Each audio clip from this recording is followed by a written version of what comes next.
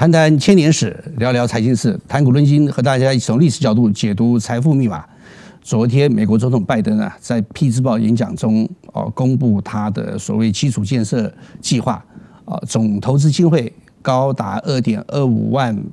亿美元，啊，这是呃美国近年来啊少见啊规模啊庞大的这个政府公共预算啊，这个拜登在宣布这个计划的同时啊。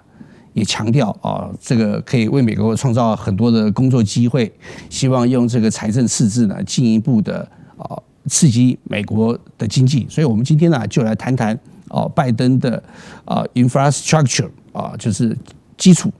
建设啊，这个图啊背后是一个美国的公路系统啊。这个美国啊，其实呃这几年啊，受到呃全球化，甚至于因为啊国家发展啊到一个水平以后，一般人啊。相对来讲，没有以前勤奋啊。这个图里面，呃的照片是第二次世界大战以前啊，纽约的工人呐啊，这个坐在这个 H 型啊钢结构的这种钢梁上啊吃午饭的情形啊，你可以看得出这种。工人呐，这个不惧这个高寒啊，然后在那边很悠哉的啊，吃吃饭休息啊，吃完饭以后就去工作啊，反映出美国劳工勤奋的一面。但是现在基本上，美国要找到这么勤奋的劳工已经不太容易了啊。那为什么要用这个图啊给大家看啊？就是一个国家基础建设的呃推动了，其实。啊，勤奋的劳工很重要。我们都知道，美国啊，这个跨两大洋，就是从大西洋到太平洋啊，这个呃洲际的这个铁路啊，当年新建的时候就是靠华工啊，因为一般白人的劳工啊。吃不起那么重的劳力活啊，然后还要冒着生命危险啊，所以在十九世纪六零年代到七零年代，美国新建铁路的时候是非常仰赖啊中国的劳工啊。等铁路盖完以后，美国就通过了排华法案，把这个华人给赶走了啊。所以其实在美国推动啊基础建设有它一定的困难度啊，但是拜登这一次啊大刀破斧，展现他的决心呢，希望啊透过基础建设啊。这个呃，把美国啊整个国家的发展拉到呃另外一个层次啊。这个我们看看他这个呃扩大基础建设里面主要的内容，第一个就是交通运输系统啊，总经费大概六千亿美元啊。那接下来的呢就是呃建筑房屋的计划啊，大概也有两千亿美元，还有清洁用水计划要投资超过一千亿美元。你就晓得啊，美国是一个基础建设水平非常高的国家啊。万明哥在台湾啊，从小就听过一件事情，就是在美国喝自来水啊，都是水龙头打开就直接喝啊，就是美国的自来水又干净又甜。但是现在呢，哦，有很多地方都达不到这个标准了啊。大家都知道，这个即使在国内，现在啊，比如说万明哥所居住的天津，自来水。打开来要直接喝，还是要有一定的勇气啊！但是美国人家很多年前就做到了这个水平啊，但是现在呢有点荒废，很多地方达不到这个标准啊，所以啊要投资啊一千多亿美金啊去改善美国人的用水啊。那另外一点呢就是呃电力结构啊，大家都知道前一段时间呢。呃，德州发生暴风雪啊，结果整个电力瘫痪啊，对美国德州造成很重大的损失啊。其实，电力系统啊老旧啊，也是美国现在一个很大的问题。它不像中国这几年来啊，一直国家投入大量的资金啊，建立这个所谓呃超高这个输配电的这个系统啊。这个中国在这一方面的能力啊，可以说是世界之牛耳啊，等等等等的一系列。还包括这个呃改善这个宽带的系统啊，都是拜登着力的重点啊。那另外呢，还有六千亿美元要发在啊，改善美国的公共医疗体系啊。尤其这次呃新冠疫情的冲击啊，暴露了美国公共医疗体系的这个弱点啊。这个亡羊补牢啊，犹未晚矣啊。这个拜登要做的事情就是希望让美国啊。四千多万没有办法得到完善医疗系统照顾的人啊，在这一次的扩大基础建设方面啊，能够呃受到啊基本的这个保障。所谓基础建设的定义啊，就是国家透过啊这个预算，透过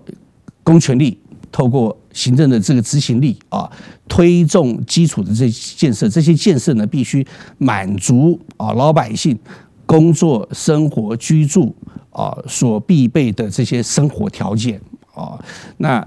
这个事情其实啊是最基本的建设，但是美国在这一方面啊，呃，万明哥掌握的资料，至至少现在啊缺了两万亿美元。啊，就是这么多年下来啊，因为基础建设投资不足的结果啊，美国现在的基础建设至少要花两万亿美元才能够慢慢的去改善。那这个消息出来以后啊，美股呢就应声大涨啊，恢复了元气。我们看这张图啊，显示的出来呢是去年底哦，美国最大的投行高盛所做的预估啊，一般大家都认为。呃，拜登是民主党的代表的美国的进步主义啊，跟华尔街的关系不是那么密切，但是他的政策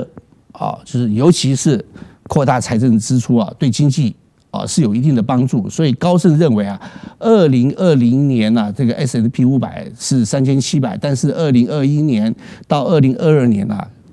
如果啊，这些计划、这些预算都能够啊，这个确实执行的话，可以达到四千六百啊。所以拜登上台啊，其实对美国华尔街来讲，不见得是一件坏事啊。那在去年二零二零年选举的过程中啊，大家可以看得出来，蓝色这条线就是 S and P 五百中啊，支持啊拜登的企业。他们股票指数的这个变化啊，加权的这种变化，那红色的这条线就是新能源股啊指数啊的这种呃行情走势啊，都可以看得出来啊。其实呃，拜登的上台背后哈还还是有很强大的一股经济跟企业实力的支持啊。那这些企业啊或者这些行业在拜登上台以后，多多少少都可以。从政策中得到一定的利多，那也可以反映在美国的金融市场啊，这个是不足为奇的啊。那拜登政府在宣布要执行啊这个扩大基础建设计划的同时啊，也特别强调这个计划可比啊一九五零年代美国所推动的洲际公路建设法案。什么叫做洲际公路建设法案呢？这张图显示的啊，就是一九五六年啊，当时美国总统艾森豪威尔啊，呃，为了强化美国联邦政府跟地方的控制啊，同时呢啊，创造就业机会啊，推动了一个跨洲际的全国性的公路网建设计划啊。这个建设计划啊，最初啊。编列的预算是两百五十亿美金啊，后来到了一九七二年，到这个计划结束为止啊，总共花了一千一百四十亿美元，换算成啊二零零九的币值啊美元的购买力来讲的话，高达四千五百亿美元啊。拜登啊提这个事情，其实要提醒大家一件事情啊，就是表面上基础建设当然可以提高。哦，国家的呃经济运转的这种能力啊，特别是交通建设啊，我们万明哥经常讲货畅其流嘛啊，这个能够呃贯通南北啊，互通东西啊，对这个呃运输的效率大幅提升的话啊，基本上除了创造就业机会啊，也可以提高经济运行的这种效率。但是其实背后还有一个很重大的政治意义啊，这个联邦。哦，洲际公路这个计划后来就改名啊，为了继承艾森豪威尔，现在全名叫做艾森豪威尔洲际公路及国防高速公路计划啊。它其实有很重大的这个政治意义啊。我们看这张图啊，呃，这张图的。左边呢，啊，是一九五六年艾森豪威尔签订这个计划以后，密苏里州跟堪萨斯州联合起来啊，向联邦政府啊提出了申请新建第一条跨州的这个高速公路啊。那右边呢，就是艾森豪威尔啊在白宫椭圆形办公室签署这个法案的呃照片。其实这个法案基本上啊，就是联邦政府啊筹措一笔资金。补助地方政府就一人出一半哦，然后新建这种所谓跨州的高速公路啊，它有两种意义。第一个呢，就是呃改善哦美国全国特别是跨州的这种运输系统的这种效率。在这个法案出来之前啊，美国的所谓的公路啊，都是由各州啊地方政府来规划、来新建、来投资。但是有了这个计划以后啊，这个联邦政府参与了啊跨全国性的交通运输建设，它代表了一个意义，就是联邦政府啊透过一笔预算啊，可以跟地方政府结合起来进行公共建设的投资。那在进行公共建设投资的时候呢，联邦政府可以把它的影响力。哦，透过这个所谓跨州的公路计划呢，啊，延伸到地方，啊，去进行对地方事务的干预，啊，或者介入。打个比方说，一九五零年代的时候啊，美国联邦政府一直在推动啊改善这个种族平等啊，还有人权的各种法案。但是南方的这些地方政府、这些州政府呢，啊，基本上对。种族隔离政策啊，还是相当的这种坚持。那联邦政府呢，就可以啊用啊这个补助款啊，要求地方政府配合。你不配合的话啊，我就不给你补助。那在这种情况之下，地方政府为了取得联邦政府的补助，那么他就会屈就啊联邦政府的这种干预或者压力。所以这个计划呢，其实是赋予了联邦政府啊。宪法所没有授权的这种权利啊，这个对带动美国的团结非常有帮助。啊拜登上台以后啊，一直很强调他要团结美国。你拿什么去团结？喊口号吗？没有用啊！现在美国对不对？经常。啊，在国际外交事务上的口号就是我回来要重新团结我的这些传统的盟国啊，在国际上发挥更大的影响力。但是美国的这些盟国啊，有了前面特朗普的例子以后，对美国未来的外交政策啊，是不是还能啊按照拜登现在所提出来的主张？啊，进行下去会有疑虑的啊！大家都知道，特朗普下来以后，特朗普所代表的特朗普主义或者保守主义，在美国还是蠢蠢欲动啊！啊，美国的很多盟邦啊都很担心啊，你拜登万一四年干完了，下任选不上怎么办？或者你翘了以后，这个美国的保守主义死灰复燃啊，美国的外交或者国际政策会不会又回到以前的老路子啊？不顾盟国的利益，那拜登所以一直要强调啊，要团结美国，团结美国就靠什么？靠基础建设，联邦政府编列预算，直接给地方政府进行绑桩啊！你支持联邦政府，支持拜登的政策的话，我就给你补助；你不支持的话啊，我就不给你补助。啊，那久而久之，几年下来，他当然就可以扩大他的政治影响力，达到团结美国的这种目的啊。所以，基础建设除了经济的意义之外，其实政治的意义更大。我们看啊，中国近代也有一个伟大的这个所谓基础建设的规划者，什么人呢？这张图里面所显示出来，左边的就是孙中山。孙中山在一九一九年的时候，曾经写过一本书啊，这个叫做《实业计划》。啊，这个左右边是一个地图啊，是孙中山在实业计划中所进行的规划。这个地图叫做总理实业计划地图啊。这个地图你可以看得出来，密密麻麻的铁路网啊，还有啊，这个孙中山强调的北方大港、东方大港、南方大港啊，基本上就是透过绵密的交通建设，重新呢。把这个国家的人民跟资源呢整合在一起，能够进行有效的动员。那孙中山这个计划最特别的啊，他是用英文写的，全称叫做 International Developing China，就是国际共同投资中国计划。因为当时啊，中国非常的穷困，然后这个军阀这个割据，根本没有钱呐，从事这个。呃，基础建设，所以孙中山希望透过国际的力量啊，协助中国啊，这个完善基础建设，达到统一全国的目的。所以这个政治意义啊，其实有的时候比那个经济意义啊更大啊。我们再看这张图啊，在孙中山以前两千多年前，中国还有一个伟大的基础建设规划者，叫做秦始皇啊。公元前二百二十年，秦始皇统一全国以后，第一件。干的事情除了修长城以外，就是修驰道啊。我们看这个图的背景啊，就是现在陕西哦，从关中啊，就是呃西安向北延伸到包头啊，这个呃秦汉时代叫做河套地区的一条秦直道的遗迹啊，这条秦直道啊，长度高达八百公里，就是两千多年前的高速公路。秦始皇上台以后啊，修长城是为了抵御匈奴，保障国家的国防安全。那么建驰道其实就是希望加强对整个国家的控制，所以啊，他签了几个呃驰道。这个向北边呢叫做呃秦驰道，向这个呃西边哦河西走廊的叫做西方道啊，向西南的到四川的呢叫做啊这个秦栈道，向南方的呢叫做武关道，向呃江浙地区延伸到东海的叫做呃滨海道，然后到齐国山东地区的呢叫做东方道啊，那么还有临近道是在河北省沿的太行山。西路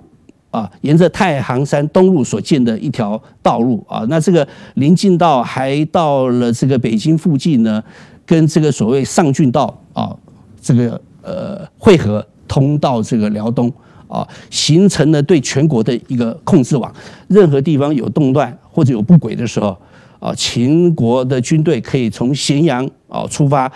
啊，透过这个秦直道啊，迅速的抵达全国啊，进行评判，同时也可以通过这个驰道呢，对不对？好，整合国家或者调动整个国家的资源啊，所以你就晓得基础建设对一个国家影响有多大。那除了交通建设以外，那拜登里面特别还强调要对制造业的这种扶持跟恢复啊。那这这一方面反而不是拜登这一次基础建设的重点啊，因为拜登这次宣布的是第一阶段。啊，四月底他还要宣布第二阶段，可能就会强调制造业啊，发展美国现在在制造业在美国供应链中的这种短板，包括新能源汽车，包括芯片等等啊。那像类似的这种做法，万明哥可以跟大家举个例子啊。我们看这个图啊，显示出的是宋代画家，这个画家已经不知名了，他画的一个叫做闸口盘车图啊，基本上是。哦，描绘宋代非常兴盛的一种呃水磨坊，这个水磨坊可以用于碾米啊、纺织啊，还可以进行这个炼钢啊。大家都知道炼钢要吹风嘛，那透过这个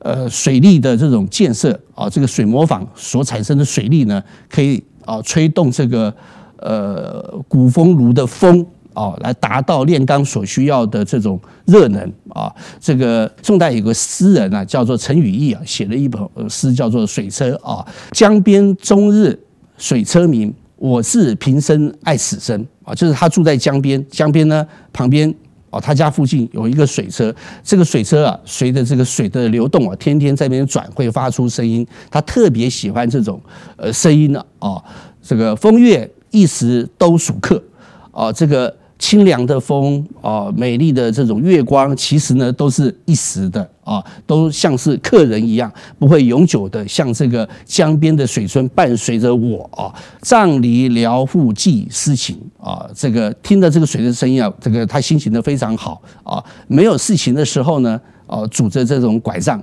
来到江边呢，啊，这个吟吟诗呢，啊，这个做做文章啊，生活非常的惬意。那基本上是反映了宋代文人还有一般人啊，当时的一种生活样貌啊，就是到处都有这种叫做水磨坊或者叫水车。这个水车啊，很多人都以为它是灌溉之用，其实不是。大家都知道啊，这个人类机械力的运用最早就是来自风力。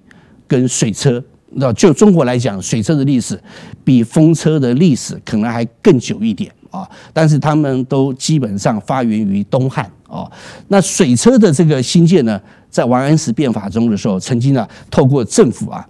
啊有规模的，在全国啊新建了一千多座的这个水车，大大提升了啊宋朝哦手工业作坊它的这个生产力。所以由这一点，你就可以。啊，想见啊，这个地方政府透过基础建设，对于国家资源的调度，还有经济的发展有多大的帮助啊？但是拜登的基础建设或者新基建计划到底能不能成功啊，还很难讲。我们看下张这个图啊，所显示出来的啊，是不同国家的政府遇到危机，特别是新冠疫情爆发后，他所投入的纾困。经费占 GDP 的比重啊，最高的就是美国啊，那其他大家可以看出来，日本啊、墨西哥等等的，跟美国都不能比。但是不是可以达到这个效果呢？也很难讲啊。这个是啊，美国的研究机构啊，把历届重要有推动大规模财政刺激方案的政府啊，跟他的政府啊，这个上任之初。啊，所面临的失业问题，还有上任之后一年以后失业问题的改善，比如说啊，改善最明显的就是罗斯福推动的新政。一九三二年呢，他上任的时候，美国的失业率高达百分之二十五，但是一年以后呢，啊，就降到了大概百分之十七到百分之十八啊。那拜登呢？啊，这个计划提出来，现在他所面临的失业率大概是百分之七点五，一年以后可以达到什么效果？大家不知道啊。但特朗普的时候呢，他上来的失业率大概是百分之六，一年以后呢降到了百分之五。那奥巴马的表现啊，可能就比较差了啊，碰到金融海啸问题比较麻烦啊，等等等等的，你都可以看得出来啊。这个美国总统第一年施政。这个分数要怎么打？其实就是看他对于失业率的改善的成绩来做决定的。所以，这个扩大公共建设计划对于拜登第一任当总统来讲的话，啊，其实具有指标性的意义。当然，负担也非常大。我们看下一张图啊，这张图是美国的学术机构啊所做的这个调查啊，调查什么呢？就是拜登跟特朗普上台以后，他们所造成的美国国家债务的负担啊，占 GDP 的比重，蓝色的是拜登上台的情况，红色的是特朗普上台的情况。啊，特朗普在任的时候啊，扩大举债，对美国的财政造成很大的影响。拜登上台以后，扩大财政刺激政策，对美国财政啊负担的增加啊，其实影响更大。我们来看这张图啊，这个是美国从二零。二零年以后啊，这个几个重要的政策支出啊，对美国财政的这个负担。二零二零年啊，红色的是特朗普为了因应疫情发生以后临时追加的预算，美国的赤字占 GDP 的比重已经来到了啊百分之十四。拜登上台二零一二年，那就是第一个呢是特朗普时代所留下来的纾困方案，另外浅绿色呢就是拜登通过的纾困方案啊，那。二零二二年开始，这个黄色的部分就是扩大公共建设啊所增加的财政负担啊占 GDP 的比重，大家都可以看得出来啊。未来几年扩大公共建设对美国财政负担呢，的确形成了一个严峻的挑战啊。这个灰色的是没有执行额外这些所谓财政刺激方案，它原来啊财政预算占这个。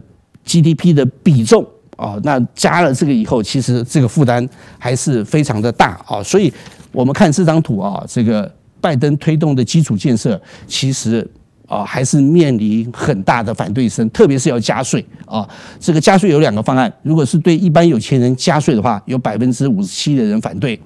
但是如果对企业加税的话，有百分之四十七的人反对。所以呢，拜登的扩大基础建设选择了对企业加税。啊，从现在的税率百分之二十一提高到百分之二十七啊，把这个阻力啊降到最低。但是到底啊能不能顺利推动啊，还有很多的变数啊。万明哥今天跟大家分析到这里，希望对大家有所帮助，谢谢。